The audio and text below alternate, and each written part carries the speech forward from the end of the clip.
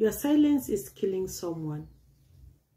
Your silence is killing someone. Shalom, the Lord bless you. Welcome to Purpose and Marital Bliss with Pastor Honorine. I have a prophetic word for someone. Your silence is killing someone. It is working better than you're shouting and nagging.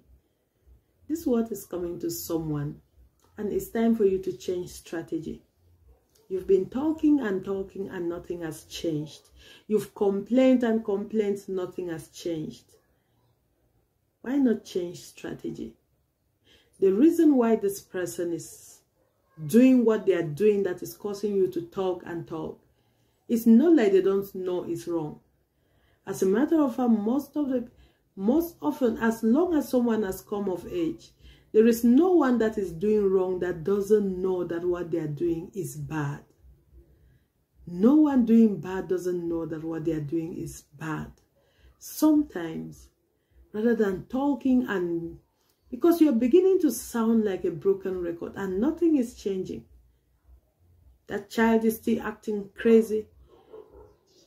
Your spouse is still not listening. Sometimes instead of talking, why not change who you are talking to? Be silent. Be silent and then talk to God rather. Talk to God about this. Commit the situation to God and let your silence do the talking. Change your strategy this time around and trust God for a better result. God bless you. Shalom.